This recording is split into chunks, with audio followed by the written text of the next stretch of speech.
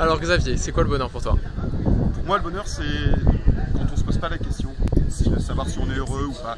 C'est quand on le vit en fait, quand on voilà, quand on se pose pas la question, quand les choses vont bien. Pour moi, c'est ça le, bonheur.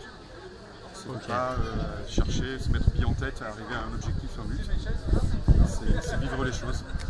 Je pense que moi, je le vois bien comme ça. Ok, génial, merci Xavier.